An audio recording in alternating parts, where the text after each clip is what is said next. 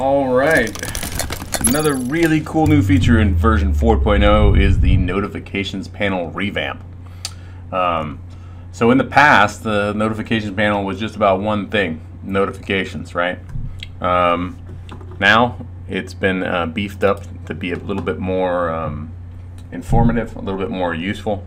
Um, also put some new features in there to allow you to more quickly access uh, events that have happened in the system. Um, so let's take a look, right? So I've got a camera right up right now. I've got no notifications going. Um, I've got some new icons here across the top. First one is motion. Um, motion basically, when you click on that, it's going to go put the cameras that you're viewing right now into motion mode. So you see I'm moving down here. You can see all the motion that's being detected on the camera itself. Uh, you can also see all motion events from this camera, right? So I can quickly jump to specific motion events. So it allows me to really, um, really quickly go into the motion view, but instead of in the past where I had to go down to the timeline and click on each one and kind of wait for it to run through and jump to the next one, now I can actually look at thumbnails of the feature.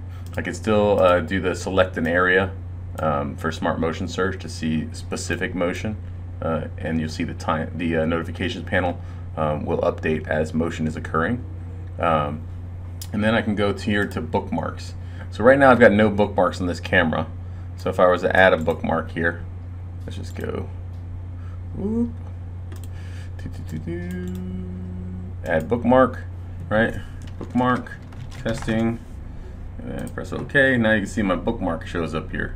So if I want to go back and play that bookmark, I can do that. So it's a real nice way to see your bookmarks. Um, I've got system events right here. So any events that are going on that may not be may not require notification but are on this camera, that are event based, uh, that are not motion based will show up here. Um, and then I've got objects. Um, objects only really applies to cameras where you've got some sort of third party object uh, driven video analytic running, right? So if I go and I open up my um, left eye camera here and I look at objects, you can see all the objects that have been detected in this camera, right? Uh, a lot of unknown people, including myself. There you go, Tony Luce coming in, right?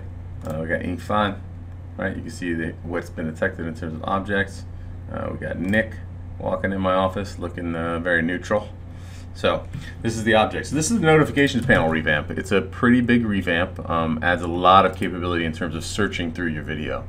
Uh, and that's really what it was all about is in increasing the situational awareness of the operator to make sure that you can find events uh, really quickly, whether based on motion, whether they're bookmarked events, um, or whether they're object driven or some form of system event. So notifications panel revamp in version 4.0. Cool new feature. Hope you like it.